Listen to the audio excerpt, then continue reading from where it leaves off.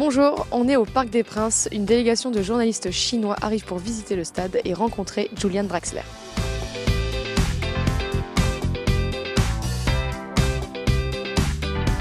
I just uh, watched the stadium before through the camera in the TV screen. So I was dreaming that one day I can come to our game in there. I think that will be very beautiful memory.